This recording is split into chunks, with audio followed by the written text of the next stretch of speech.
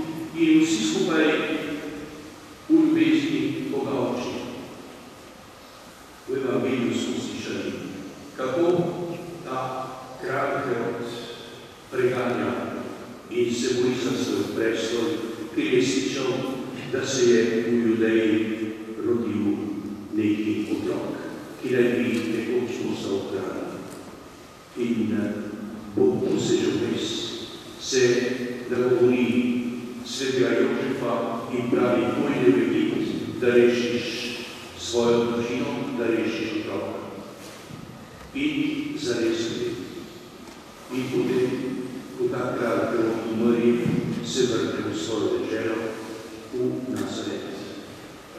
Rete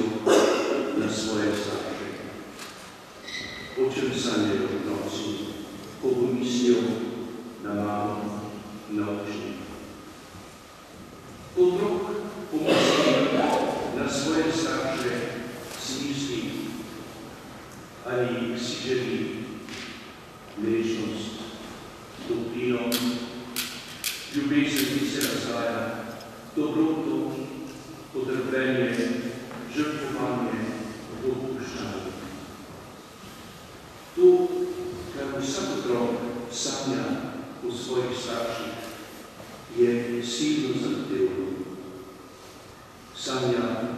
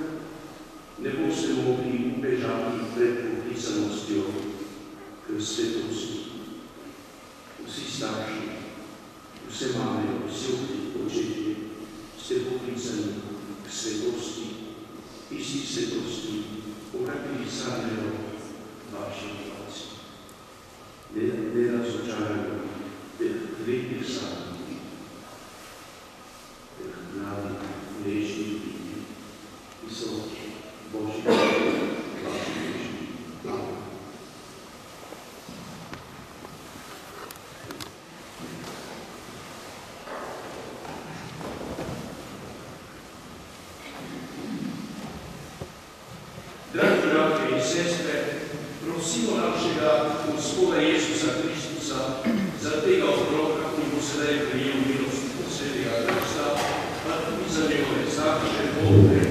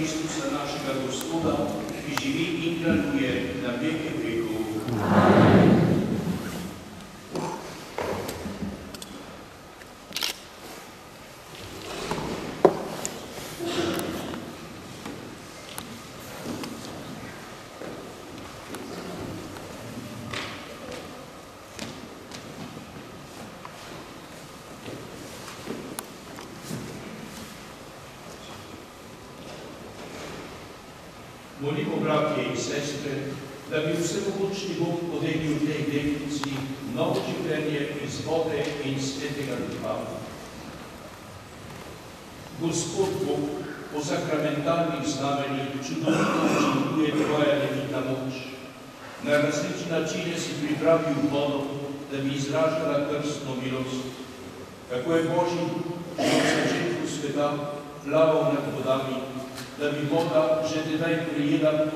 posvečevalno moč. Neke vrste prerojenje si nakazal tudi v vesolnem potoku, ko se je po skrivnosti iste prvine končala pregreka in začela prepost. Potem si Abrahamove sinove popeljal po suhih vodnih prek Rdečega morja, da bi ljudstvo rešeno faraonove služnosti bilo podoba krščenega ljudstva. Končno je Janez v jordanski vodi krstil tvojega sina, sveti je vazilil in ko je visel na križu, je obenem skrbel iz njegove strani pritekla tudi voda.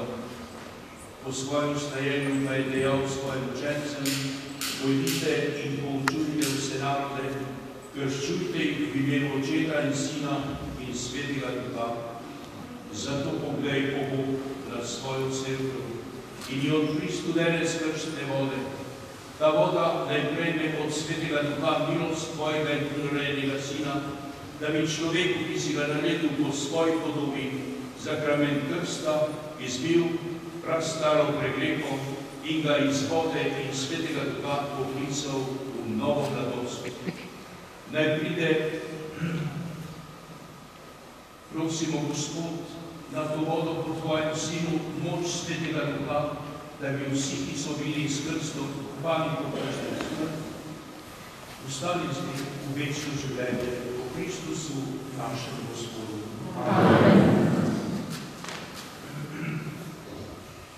Dragi starši, po zakramentu krsta bo deklica, ki ste jo prinesli, dobila po Božjo vest novo življenje iz vode in svetega duha. Vi pa si prizadevajte, da boste tako vzgajali v veri, da greh ne bo služil njenega Božjega življenja, ampak da bo v njej vedno bolj raslo. Če ste torej v moči svoje vere pripravljeni prevzeti to nalogo v zavesti svojega krsta, potem se odpovejte grehu in izpovejte vero v Jezusa Kristusa. To je vera cerkve, ki v njej krščujemo otroke. Se odpoveste hudemu duhu? Se odpovem. Se tudi njegovim delom Se odpovem. in vsem njegovemu naporu Se odpovem. verujete v Boga Očeta vsemogočnega stvarnika nebes in zemlje, Verujem. verujete v Jezusa Kristusa, njegovega edinega Sina, našega Gospoda, ki je bil rojen iz Device Marije, umrl in bil v grob položen, vstal od mrtvih in je sedaj v Božji slavi. Verujete v svetega duha, sveto katoliško crkvo, občestvo svetnikov, odpuščanje grehov, štejenje mesa in večno življenje. To je naša vera. To je, na, to je vera naših prednikov. To je vera crkve. To ponosno izpovedujemo v Jezusu Kristusu, našem Gospodu. Hočete torej, da naša Ana Marija prejme krst v veri cerkve, ki smo jo pravkar vsi izpovedali, Hočemo.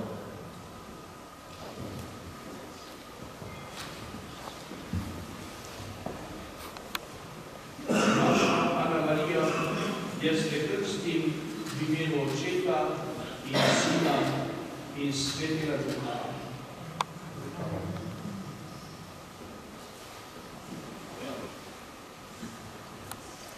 Vsemogočni Bog, Oče našega Gospoda Jezusa Kristusa, te je rešil greha, te prerodil iz vode in svetega duha in te pridružil svojemu ljudstvu. On te masili z oljem spodrečenja, da ostaneš tu Kristusa duhovnika, preroka in kralja za večno življenje.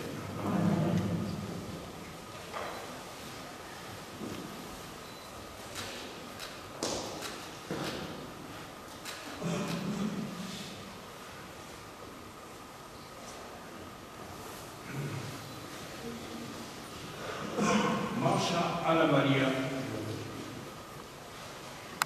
postala si svetišče svetega duha in oblekla si Kristusa. To belo oblačilo naj ti bo znamenje tega dostojanstva, nauki in zgled tvojih staršev, botkov in sorodnikov, pa naj te podpirajo, da ga boš brez madeža prinesla v večno življenje.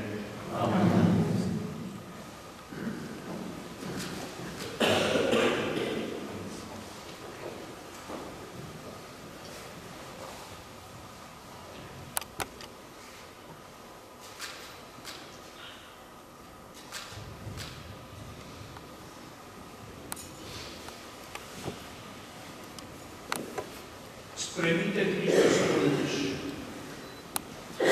Starši in bogni, ohranite luč, ki vam je zaupana, da bo vaš otrok v Kristusovi luči varno hodil od otrok luči, ustrajal v veri in šel z vsemi svetniki v nebesi, prihajajočem Gospodu naproti.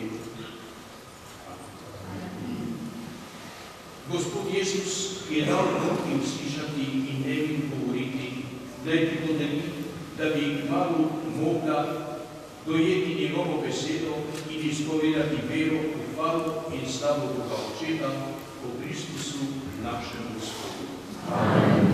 V Kristusu ste krščeni, Kristusta ste odrekli. Slavimo Gospoda. Bogu.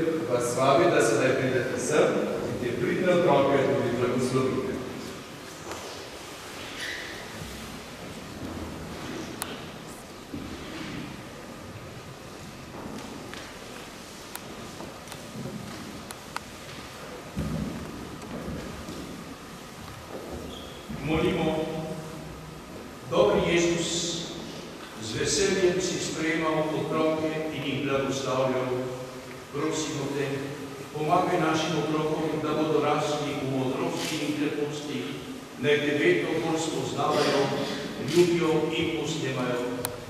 Varuj jih in vodi, njihovim staršem pa daj moč, da jih bodo vzgajali s modrostjo in ljubezjo, ki živiš in kar na veke vekov. Amen.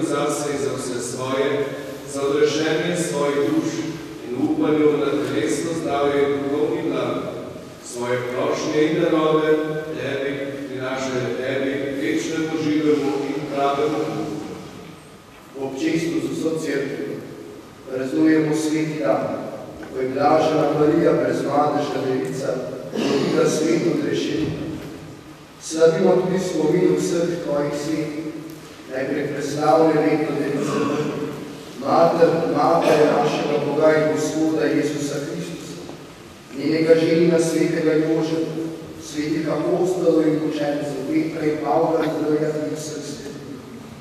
Po njihovem zasluženju prošnjem nasledno povsod vabi. Zato te prosimo, Gospod, milostno spremi dodaritev svojih služavnikov in vse svoje družine. Dojmemo ti jo tudi za novokrščeno Mašo Anvarijo, i je bila danes mokrstno prikružena tvojih zemlji, da uvelikodušno i voljno vina za tvojim sinom Jezusom Hristusom. Vodi naše dneve u svoje biti, reči nas večnega pobudenja i pridruži nas stolu svojim izvoljenja. Ti o Bog, dobrotno pri preuzemi i potrdi prosimo udarite u srce, da je vodovna i tebe vredna, da nam postane telo in kri Tvojega preljubega Sina, našega Gospoda Jezusa Kristusa. Isti večer pred svojim trpljenjem je vzel svoje svete in častitne roke, se je ozrl nebo k tebi, Bogu svojemu vsemogočnemu očetu, se ti zahvalil, ga blagoslovil, razdomil, dal svojim učencem nebeljub. Vzemite in jejte od tega vsi, to je namreč moje telo, os seus